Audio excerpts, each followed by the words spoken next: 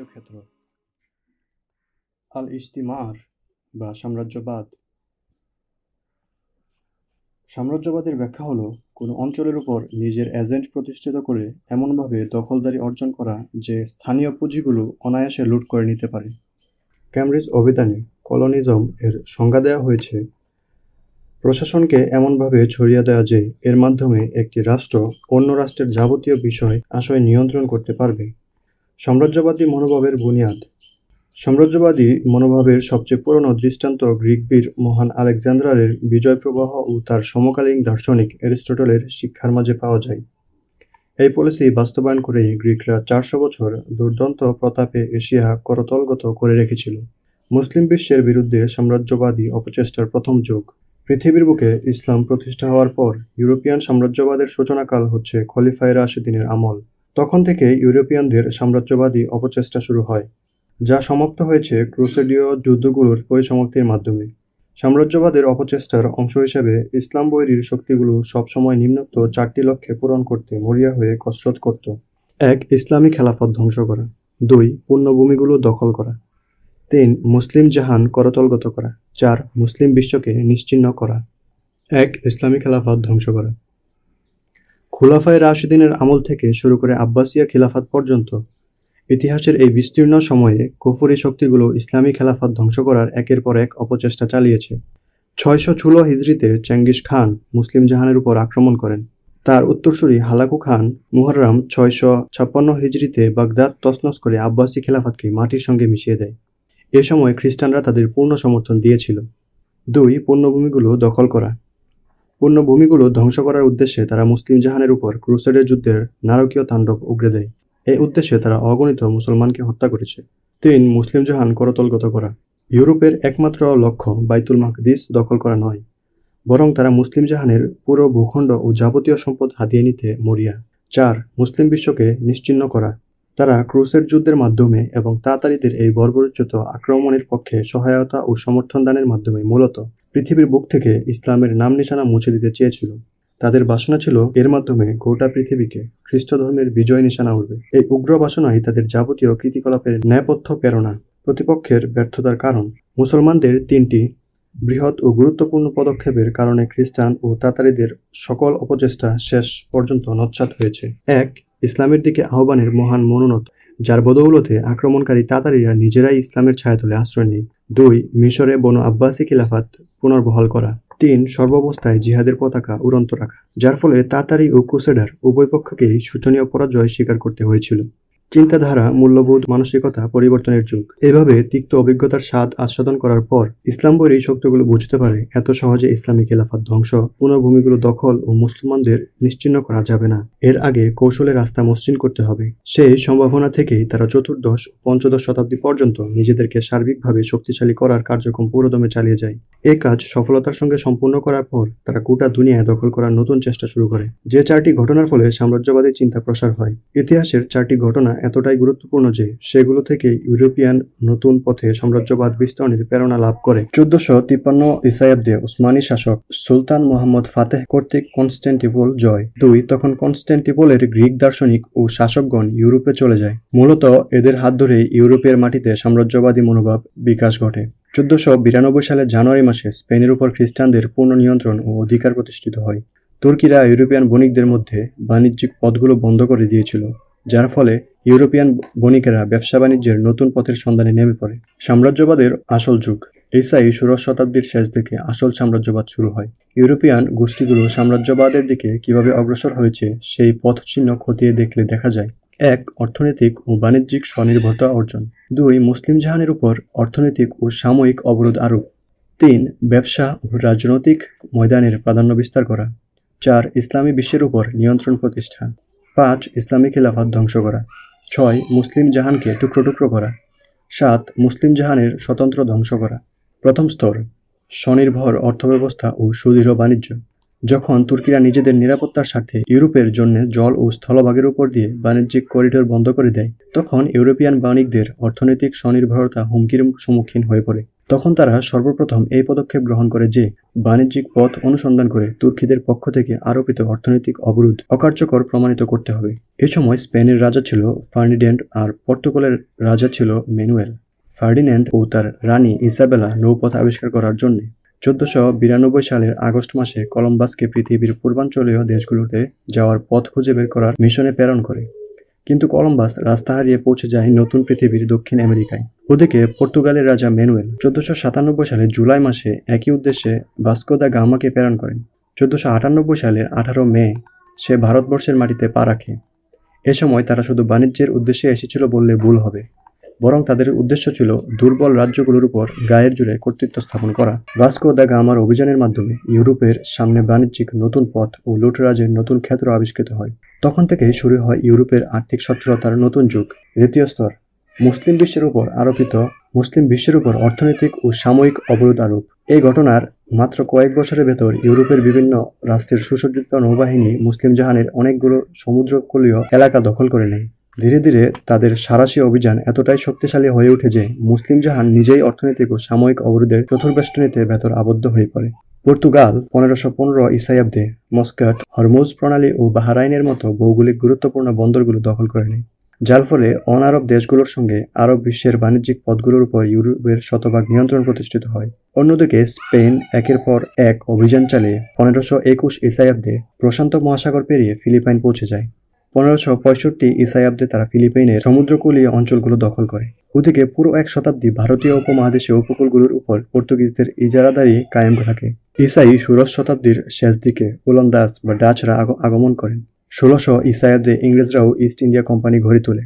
উপর্যপরি কয়েক বছর চেষ্টায় তারা মুঘল সম্রাট জাহাঙ্গীরের কাছ থেকে ইস্ট ইন্ডিয়া কোম্পানির নামে বাণিজ্যিক পরোয়ানা হাসিল করতে সক্ষম হয়। ষোলোশো চৌষট্টি ইসায়াব্দে ফার্সি বণিকদের ফ্রেন্স ইস্ট ইন্ডিয়া কোম্পানি নামে একটি বাণিজ্যিক ফার্ম বানিয়ে ভারতীয় উপমহাদেশের উপকূলগুলোর উপর নিজেদের দৌড়ঝাঁপ শুরু করে দেয়। অরঙ্গজেবের আলমগীর যখন অনুভব করে যে ইংরেজরা বাণিজ্যের ছদ্মবেশে রাজনৈতিক শক্তিশালী হিসেবে অভিভূত হওয়ার চেষ্টা করে তখন তিনি তাদের উপর পুনরায় বিধিনিষেধ আরোপ করেন। কিন্তু বরাবরের মতো এবারেও তারা কৌশলে ক্ষমা বাগিয়ে নেয়। মুঘল সম্রাটগণ মনে করতেন, তাদের প্রকাণ্ড শক্তিমত্তা ও রাজকীয় জৌলসের সামনে বিদেশি বণিকেরা কোনো ধরনের আতঙ্ক সৃষ্টি করতে পারবে না। এই জন্য তারা তাদের অপরাধ ক্ষমা করে দেন। অরঙ্গজেবের মৃত্যুর পর বিদেশি কোম্পানিগুলো লাগামহীন স্বাধীনতা পেয়ে যায়। ইসাই অষ্টদশ শতাব্দীর মধ্যভাগে তারা মুসলমান বিশ্বের উপর অর্থনৈতিক ও সাময়িক কর্তৃত্ব স্থাপন করতে সক্ষম হয়। তৃতীয় স্তর, বাণিজ্যিক ও অর্থনৈতিক ক্রমবর্ধমান উন্নতি। মুসলিম বিশ্বের উপর অর্থনৈতিক ও রাজনৈতিক কর্তৃত্ব পুরোপুরিভাবে স্থাপন করার পর বিশ্ব বাণিজ্য ও ইউরোপিয়ান শক্তিগুলোর হাতে চলে যায়। ইউরোপিয়ান শক্তিগুলো কয়েক বছরের মধ্যে নিজেদের ভাণ্ডার, ধনসম্পদ টৈটম্বুর করে ফেলে। ইসাই অষ্টদশ শতকের মধ্যভাগে এসে ইউরোপ কলকারখানা, ব্যবসা বাণিজ্য ও অর্থনৈতিক শক্তিমত্তার বিচারে অধিকাংশ ইসলামী রাষ্ট্র থেকে অনেক দূরে এগিয়ে যায়। চতুর্থ স্তর, মুসলিম জাহানের উপর নিয়ন্ত্রণ প্রতিষ্ঠান। ইংরেজরা সতেরোশো সাতান্ন ইসায়াব্দে নবাব সিরাজুদ্দৌলাকে পলাশির প্রান্তে পরাজিত করে বঙ্গদেশের উপর অধিকার প্রতিষ্ঠা করে। চার মে সতেরোশো নিরানব্বই সালে তারা গাদ্দারদের সহযোগিতায় মহীশূর দখল করে। মহীশূরের শাসক মুজাহিদ টিপু সুলতান রণাঙ্গনে লড়াই করে শাহাদতের অমীয় সুদা পান করেন। আঠারোশো তেতাল্লিশ সালে তারা সিন্ধ এবং আঠারোশো উনপঞ্চাশ সালে পাঞ্জাব এবং আঠারোশো সাতান্ন সালে দিল্লি নগরী দখল করে সর্বশেষ মুঘল সম্রাট বাহাদুর শাহ জাফরকে গ্রেফতার করার মাধ্যমে মুঘল সাম্রাজ্যের পতন ঘটে। অন্যান্য মুসলিম রাষ্ট্রের উপর ব্রিটিশদের আক্রমণ অব্যাহত থাকে। ইংরেজরা আঠারোশো একান্ন সালে নাইজেরিয়া, আঠারোশো অষ্টআশি সালে মিশর আঠারোশো আটানব্বই সালে সুদান, উনিশশো চোদ্দ সালে ইরাক, উনিশশো আঠারো সালে জর্ডান ও ফিলিস্তিনের উপর ইংরেজদের দখলদারি প্রতিষ্ঠিত হয়। এ সময় তারা আঠারোশো চল্লিশ, আঠারোশো আশি, উনিশশো সালে উপর্যপরি তিনবার আফগানদের সঙ্গে শক্তি পরীক্ষায় অভিহিত হয়। কিন্তু একবারের জন্যও তারা আফগানিস্তান দখল করতে পারেনি। রাশিয়া পনেরোশো ছাপ্পান্ন হিসাবে নৌ মুসলিম তাতারিদের রাজধানী ইস্তিরা খান দখল করে মধ্য এশিয়া মুসলিম রাষ্ট্রগুলো ও ইরান অভিমুখে অভিযান পরিচালনার পথ পেয়ে যায়। ষোলোশো সত্তর ইসায়াব্দে জিল আওয়াল দখল করেন। ষোলোশো ছিয়ানব্বই ইসায়াব্দে তুরস্কের প্রসিদ্ধ শহর আজুফ ও সতেরোশো আটাত্তর সালে তুরস্কের প্রতিরক্ষা নগরী ক্রিমিয়া দখল করে। আঠারোশো চব্বিশ ইসায়াব্দে কালো সাগরের সাময়িক দৃষ্টিকোণ থেকে অত্যন্ত গুরুত্বপূর্ণ দ্বীপ ক্রেম দখল করে। ঊনবিংশ শতকে তারা মধ্য এশিয়ার দিকে অগ্রসর হতে থাকে। আঠারোশো চৌষট্টি সালে কাফফাজ ও আঠারোশো আঠারোশো সাতষট্টি সালে তাসকন্দ আঠারোশো আষট্টি সালে বুখারা, আঠারোশো তিয়াত্তর সালে খিওয়াহ ও আঠারোশো চৌরাশি সালে মর্গ নগরীর উপর রাশানদের একচ্ছদ্র কর্তৃত্ব প্রতিষ্ঠিত হয়। উনিশশো সতেরো সালে রাশিয়ার সাম্রাজ্যতন্ত্রের বিপ্লব ঘটে, যার ফলে মধ্য এশিয়ার মুসলিম রাষ্ট্রগুলোর সর্বস্বাধীনতাটুকু কেড়ে নেওয়া হয়। মসজিদ, মাদ্রাসা বন্ধ করে দেওয়া হয়। লক্ষ লক্ষ মুসলমানকে হত্যা করা হয়। এর চেয়েও অধিক মুসলমানকে দেশ থেকে বিতাড়িত করা হয়। ফ্রান্স, আঠারোশো সালে আলজেরিয়া, আঠারোশো একাশি সালে তানিউসিয়া আঠারোশো বিরাশি সালে সেনেগাল ও মাদাগাস্কার, উনিশশো বারো সালে মরক্কো, উনিশশো একুশ সালে সামদেশ দখল করে। ইতালি, আঠারোশো সাতাশি সালে সোমালিয়া ও এরিত্রিয়ার উপর উনিশশো এগারো সাল লিবিয়ার উপর নিজেদের নিয়ন্ত্রণ প্রতিষ্ঠা করে। মোট কথা, বিংশ শতাব্দীর শুরুতে প্রায় পুরো মুসলিম জাহান সাম্রাজ্যবাদী শক্তিগুলোর হাতে স্বাধীনতা খুঁয়ে বসে। পঞ্চম স্তর, উসমানী খিলাফতের পতন। এভাবে দিনে দিনে সাম্রাজ্যবাদী শক্তিগুলো ইসলামী খেলাফত ধ্বংস করার যোগ্য হয়ে ওঠে। ইউরোপিয়ান রাষ্ট্রগুলোর পৃষ্ঠপোষকতায় সংগঠনগুলো খিলাফাত ও ইসলামের বিভিন্ন প্রতীকের ক্রমাগত অবমাননা শুরু করে দেয়। তারা মুস্তফা কামাল পাশার মতো কিছু এজেন্ট তৈরি করে ছেড়ে দেয়। উনিশশো নয় সালে এই এজেন্টরাই খলিফার সকল ক্ষমতা কেড়ে নিয়ে সেখান থেকে পশ্চিমা ধাঁচের গণতন্ত্র প্রতিষ্ঠা করে। প্রথম বিশ্বযুদ্ধের সমাপ্তির পর বিজয়ী সাম্রাজ্যবাদী রাষ্ট্রগুলোর পেশি শক্তির প্রয়োগ করে তুরস্কের হাত থেকে সামদেশ ফিলিস্তিন ও ইরাক কেড়ে নেয়। উনিশশো চব্বিশ সালে মুস্তফা কামাল ইসলাম বিদ্বেষী শক্তিগুলোর পরোক্ষ প্ররোচনায় খিলাফাতের পরিসমাপ্তি ঘোষণা করেন। খিলাফাত পুনর্বর্তন স্বপ্নের মৃত্যু, পৃথিবীর বুকে পুনরায় যেন খিলাফাত প্রতিষ্ঠা হতে না পারে, এজন্য সাম্রাজ্যবাদী শক্তিগুলো নিম্নের পদক্ষেপগুলো গ্রহণ করে থাকে।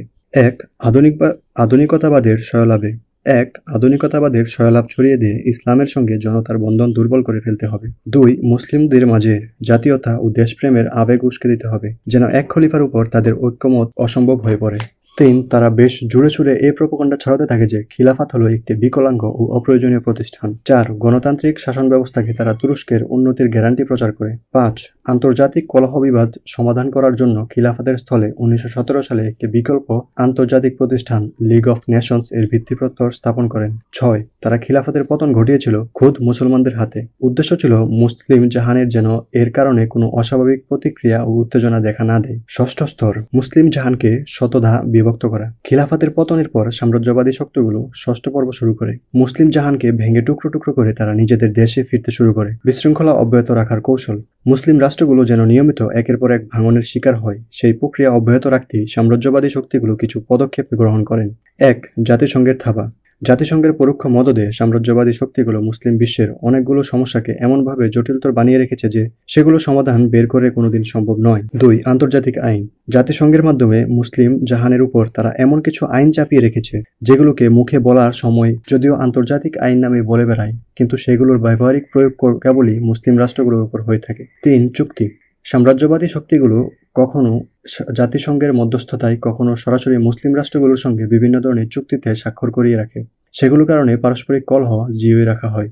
চার, মুসলিমদের উপর চাপিয়ে দেওয়া যুদ্ধ। মুসলিম জাহানের উপর শক্তিমত্তা প্রদর্শন করতে এবং তাদেরকে হরদম পরাজিত মানসিকতায় আতঙ্কিত রাখতে সময়ে অসময়ে তাদের উপর বিভিন্ন যুদ্ধ চাপিয়ে দেওয়া হয়। বিভিন্ন প্ল্যাটফর্ম তারা অনেকগুলো প্ল্যাটফর্ম বানিয়ে মুসলিম রাষ্ট্রগুলোকে সেই প্ল্যাটফর্মের মাঝে বিভক্ত করে রেখেছে। যেন এক প্ল্যাটফর্মে মুসলিম রাষ্ট্র কখনো প্ল্যাটফর্মের মুসলিম রাষ্ট্রে নিজেদের প্রতিপক্ষ মনে করে। ছয়, মুসলিম জাহানে লেলিয়ে দেওয়া যুদ্ধ। মুসলিম রাষ্ট্রগুলোর পরস্পরে যুদ্ধবাদী রাখা হয়েছে। এমনকি রাষ্ট্রগুলোর ভেতরে গৃহযুদ্ধের আগুন উস্কে দেওয়া হচ্ছে। নিরাপত্তা সাম্রাজ্যবাদী শক্তিগুলো কিছু মুসলিম রাষ্ট্রের নিরাপত্তার নামে সৈন্য মোতায়েন করে। মূলত এগুলো তাদের বন্ধুত্বের ছদ্মবেশের শত্রুতা বিত্রী আট, গণতন্ত্রের সম্প্রসারণ ও পুতুল সরকার। মুসলিম রাষ্ট্রগুলোতে গণতন্ত্র চর্চার নামে সেখানে তারা নিজেদের এজেন্ট ও পুতুল সরকার প্রতিষ্ঠা করে, যাদের মাধ্যমে সহজেই তারা এই রাষ্ট্র থেকে নিজেদের স্বার্থ হাতিয়ে নিচ্ছে। নয়, রাজনৈতিক ও ভাষাকেন্দ্রিক দখলের পৃষ্ঠপোষকতা। আপনি দেখতে পাবেন মুসলিম দেশগুলোতে নিত্য নতুন রাজনৈতিক ও ভাষাকেন্দ্রিক দল উপদল গড়ে উঠে ভাষা ও রাজনীতির নামে এভাবে বিভাজন গড়ে বিশৃঙ্খলা সৃষ্টি করা সাম্রাজ্যবাদীদের মুখ্যম কৌশল। দশ, ভাষা ও দেশভিত্তিক সাম্প্রদায়িকতা। প্রতিটি মুসলিম রাষ্ট্রকে ভাষা ও আঞ্চলিকতার ভিত্তিতে বিভাজিত করার মাধ্যমে সেখানে এমন সব সংগঠন ও প্রতিষ্ঠান দাঁড় করিয়ে দেওয়া হচ্ছে, যারা সেখানে ভাষা ও আঞ্চলিকতা কেন্দ্রিক সাম্প্রদায়িকতা প্রচার করে। এগারো, ধর্মীয় ফেরকাগুলোর পৃষ্ঠপোষকতা। যখনই কোনো সংগঠন নতুন দৃষ্টিভঙ্গি নিয়ে আবির্ভূত হয়, এমন প্রতিটি সংগঠনকে তারা সমর্থন যোগায়। বারো, জাল নেতৃত্ব তৈরি করা। সাম্রাজ্যবাদী শক্তিগুলো মুসলিম রাষ্ট্রগুলোর নেতৃত্ব নিজেদের করতলগত রাখার হীন উদ্দেশ্যেও সেখানে তাদের আশীর্বাদ পুষ্ট লোকেদের প্রস্তুত রাখে। এই অভ্যন্তরীণ ও পারিপার্শ্বিক বিচ্ছিন্নতার কারণে মুসলিম জাহান নিজেদের অধিকার আদায়ের দাবিতে এখন পর্যন্ত এক প্ল্যাটফর্মে সম্মিলিতভাবে আত্মপ্রকাশ করতে পারেনি বা তাদেরকে দেওয়া হয় না সপ্তম স্তর, মুসলিম জাহানের স্বতন্ত্র বিনাশ। মুসলিম জাহানের স্বতন্ত্র পরিচিতি ধ্বংস করার জন্য তারা বেশ কিছু কৌশল প্রয়োগ করে থাকে।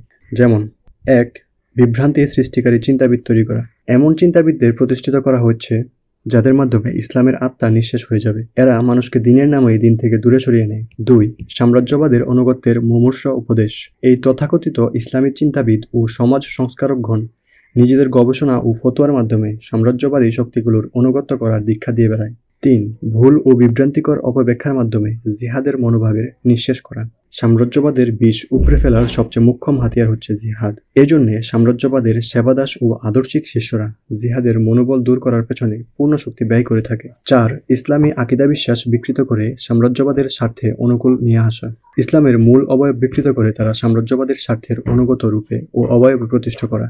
পাঁচ, গণতান্ত্রিক চিন্তাধারার বিকাশ। ইসলামী সংবিধান ধ্বংস করা এবং ধর্মহীন চিন্তাধারা ও ধর্মবিরুদ্ধ মতবাদ প্রতিষ্ঠা করার কাজটি তারা সবসময় গণতন্ত্র মনাদের মাধ্যমে হাসিল করে থাকে। ছয়, মুসলিম ঐতিহ্যের মূলে কুঠারাঘাত করা। সাম্রাজ্যবাদীরা মুসলিমদের স্বতন্ত্র পরিচয় ধ্বংস করার জন্য অব্যাহতভাবে ইসলামী ঐতিহ্য, সংস্কৃতি, এমনকি ধ্বংসের যৎকিঞ্চিত অবহ বহন করে। এমন প্রতীকগুলো বিকৃত করার কাজে সার্বক্ষণিকভাবে নিয়োজিত রেখেছে।